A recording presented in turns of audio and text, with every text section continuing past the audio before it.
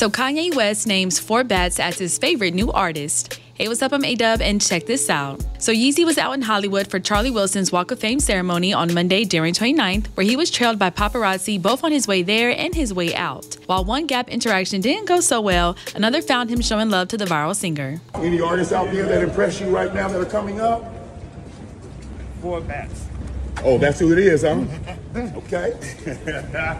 A relationship between Kanye West and 4Batz had been established earlier this month when the Dallas bred singer, best known for his viral hit Act 2 Data 8, posted a photo of him on a FaceTime call with Ye. I was just sleeping on the floor, and now I'm on the phone with Ye. Y'all can't tell me none. He wrote in his caption while reflecting on his rapid rise. Ty Dolla Sign, who is planning to drop a joint album with West, commented on the post with an OK emoji.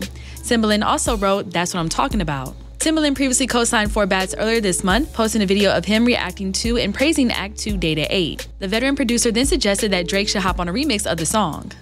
Y'all got one. Mm. Think y'all got one with this one. You running out of shoes to wear.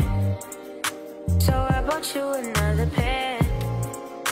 Girl, I got you another dress. Mmm.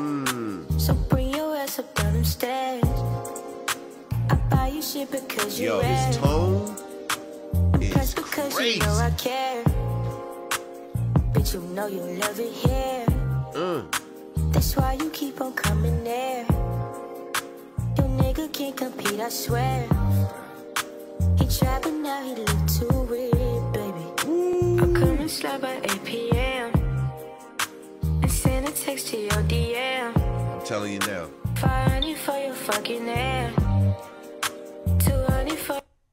Boy get on this, it's out of here. Drake was seemingly receptive to his suggestion, with him liking an Instagram post from Say Cheese TV about a potential collaboration between them. Batz has also earned the approval of R&B superstar SZA, who showed love in the comments section of one of his Instagram videos. Too Hard, she commented on a video of his on the block performance of Act 2 Data 8, which captures the intriguing juxtaposition between his ski mask clad appearance and airy, high pitched voice. The song has almost 15 million streams on Spotify and recently topped the streaming platform's Viral 50 global chart, while his other track, Act 1 Stickers 99, also has millions of plays across YouTube and Spotify. But let us know your thoughts in the comment section below. Make sure to hit that subscribe button and notification bell to stay up to date on all of our new videos. And as always, make sure to keep it all the way locked to hiphopdx.com.